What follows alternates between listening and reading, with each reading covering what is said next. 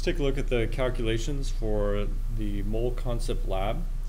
So you will have 50 beads, mass of those.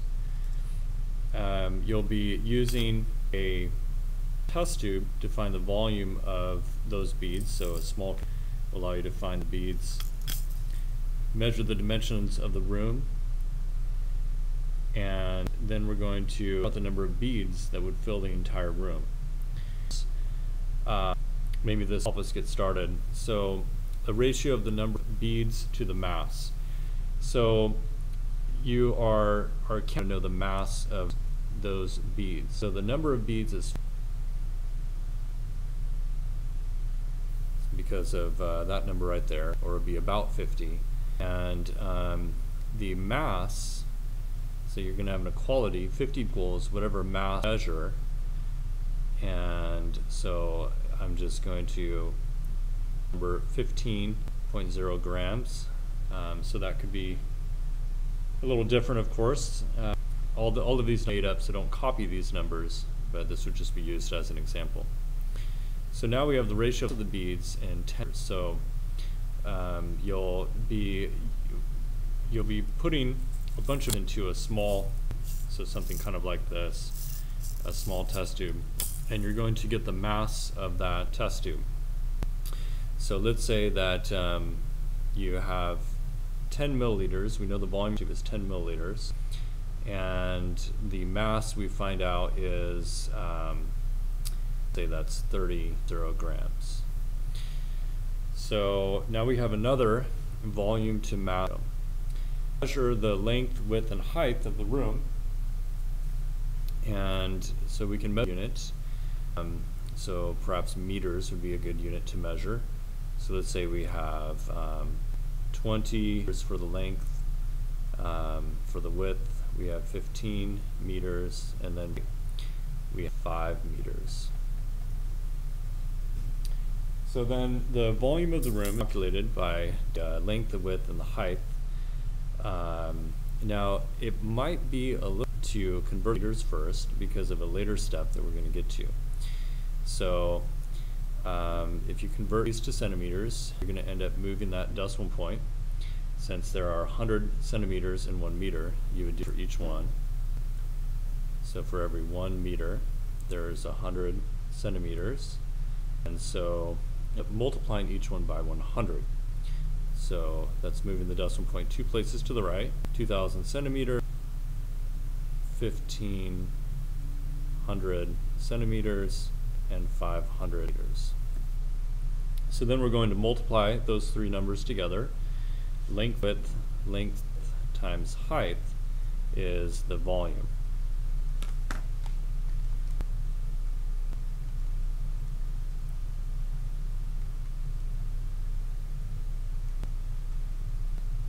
We get a very large number, it's likely. So I'm going to scientific notation. So 1.5 um, times 10 to the ninth. Worrying about significant case since I'm just making numbers up anyway. So we have a large number, and the unit, since I multiplied centimeters times centimeters, the unit is going to be centimeters cubed. All right, so now on to the analysis. Find the number of beads that would occupy the volume of the room. We're going to be using these, uh, these conversion factors, these equalities to do this. Um, so we have um, beads, that's our unknown. That's what we're trying to get to. And um, the volume of the room is the given, and this number right here. So that's going to be our given value, this number, so with 1 5 times 10 to the ninth cubed over 1 and so factors to get to the number of beads. So our link here is milliliters to grams. We have grams to beads. So we have we have conversion our way to the number of beads. Uh, centimeters cubed, um, liters. So what do we do with that? Well, that um, there's an equality for, and so centimeter cubed. So for every one cubed, there's one mill. Then for every 10 using this factor for every 10 liters, there's 30.0 for every 15 grams 50 beads. 15.0 grams, 50 beads. There we go. It's all set up. Units will cancel. And we just calculate. So multiply across on the top, cross on the bottom, write those answers, and then divide. So we have 1.5 times 10 to the ninth. And then that's going to be uh, multiplied by 30 times 50 divided by open parentheses 10 times 15 close parentheses comes out to 1.5 times 10 to the 10.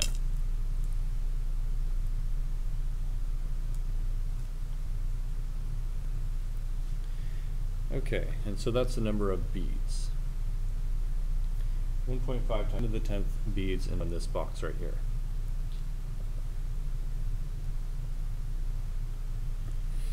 All right, we're on to the back side. So it says if a if a mole of beads is 6.02 times 10 to the 20s, how many classrooms would have to be completely filled?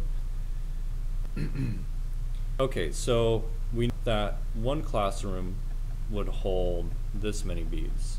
And this is a mole of beads. So we want to figure out if the classroom would hold this many beads, how many classrooms hold this number of beads. Um, so the the steps here.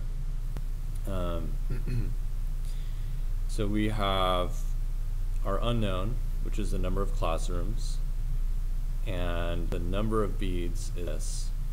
And we can basically make a um, conversion factor using this, this number. And our conversion factor is that one um, classroom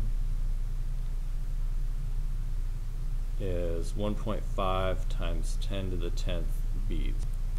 And of course they're going to be different since you're making original measurements, so don't copy any of these numbers, um, but this is the idea on how to do it. All right, so see our given value then is 6.02 times 10 to the 23rd. So we're going to start with that. Beads. And so then we can see that uh, we can use this equality to make a factor for every 1.5 times 10 to the 10th beads, there's one classroom. And some of you might have noticed already that we're just going to be dividing the number of beads um, total by the number of beads in one classroom. And so now we divide those numbers. So 6.02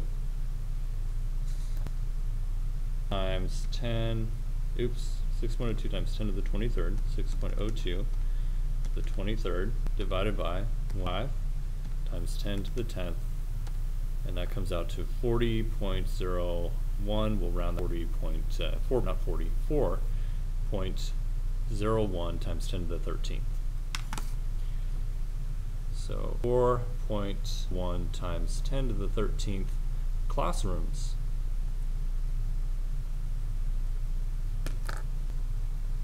See beads cross out, and that really is supposed to go in this box up here.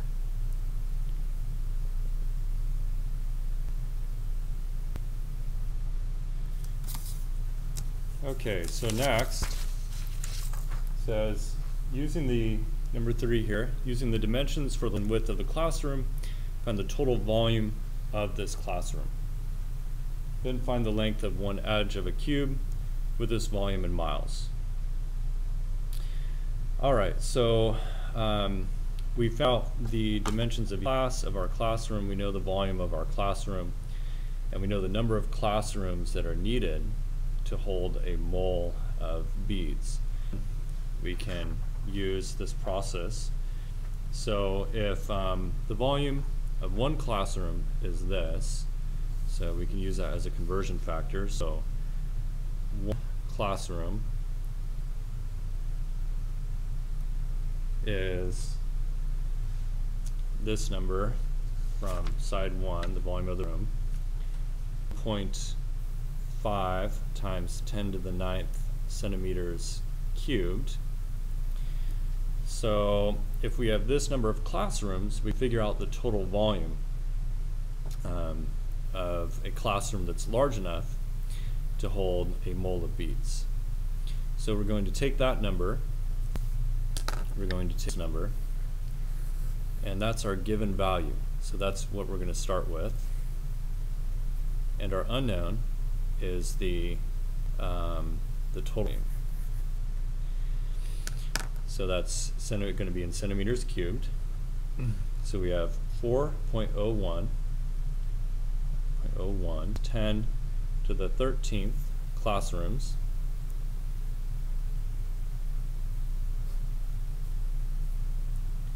And for every classroom, there is 1.5 times 10 to the ninth centimeters cubed. And again, some of you might have just thought in your head, we're going to multiply the two numbers. Since this is the volume, um, the number of beads in one classroom, and if we multiply that times um, the number of classrooms needed, which is this number actually, um, then we'll get the answer. All right, so numbers.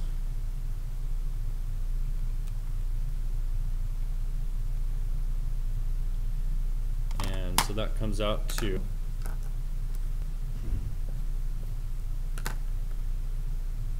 six point oh two times ten to the twenty-second centimeters cubed.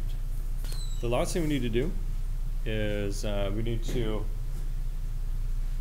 find the cube root of this, since this um, the cubic volume, if we take the cube root of that number, 6.02 times 10 to the 22nd centimeters cubed, we'll have the, um, that will give us the length of one edge, one edge in miles. So think about a cube, right? So we have this huge cube like that. So formula to find the um, area or volume of a cube is the length times the width times the height. So, but those same, so it's just the length cubed. Uh, if we take the cube root of the length, then we will have the uh, cube root of the length, then we will have value of L. So we're trying to find the length of a single edge so we can get some perspective of how large um, this classroom or this object is that would hold a mole of these tiny little, tiny little beads. So we take the root of this number. You might need to look for that button on your calculator. On my calculator, um, it's there's a couple of you could do the second key and use this button. Um, I believe there's actually a um, designated cube root key as well. It's right here. So I have to press second and then press this button. And there I go. So it's 3.92 times 10. 3.92 times 10 to the 7th centimeters. And so that's the number that goes in this box. 3.92, 10 to the 7th centimeters. And uh, also that number was supposed to go in this box. Okay, um, so that is the length of an edge. And uh, oops, it said to calculate that in miles. Oops, we have another conversion. So that's so that's the first step is to take the cube root, but then we need to convert it. So 3.92 times 10 to the 7th centimeters.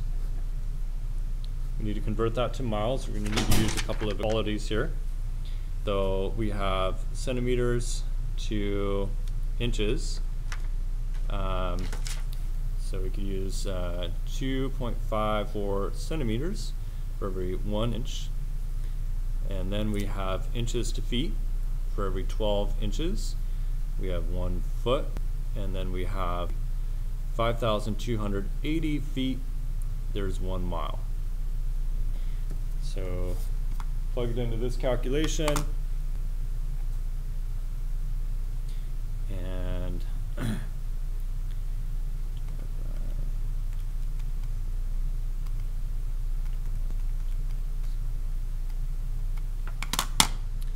And so that comes out to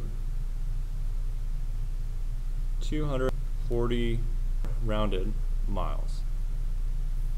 So that's actually the answer that goes up here. 200, there should be 244 miles. Alright, and then in this space, we're supposed to sketch a picture of something like maybe the state of California or something here's the Bay Area. Uh, I'm a terrible artist, so it's supposed to be California. And here's Lake Tahoe. Uh, okay, anyway. Um, so you sketch a little picture and then you show what's 244 miles in to something like that. All right, so that's the process for doing the calculations for this lab.